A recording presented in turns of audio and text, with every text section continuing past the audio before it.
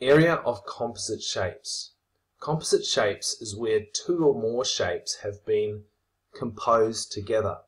For instance, in example 1a, we have two shapes that have been, I guess, composed or put together. And if I draw a red dotted line, you can see I have a rectangle and a triangle.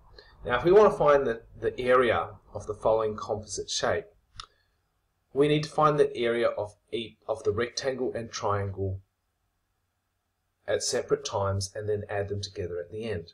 So what we'll do is we'll call the rectangle shape 1 and we'll find the area of shape 1 and shape 2 is the triangle so we'll find the area of shape 2 okay?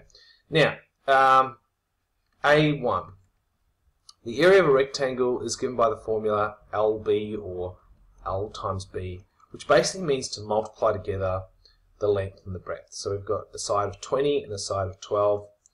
20 times 12 is 240 centimeters squared. So there's the area of our rectangle. Alright, now we're going to find the area of our triangle, area 2. And you can see the formula is half times base times height. And when we do this one, we're just going to go half times. Now, we actually need to sort of look at our triangle and figure that out. The height is actually the 10. This is the height of the triangle because that's the distance from the base to the tip of the triangle.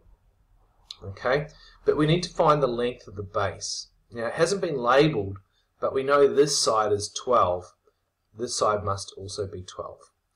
Alright, so we're going to go half times the base of 12 times the height of 10. And that'll come out to 60 centimeters squared. Now once you've found the area of your two shapes, I like to use A with a capital T, meaning the total area, and then I just add them together. 240 plus 60 is 300 centimeters squared.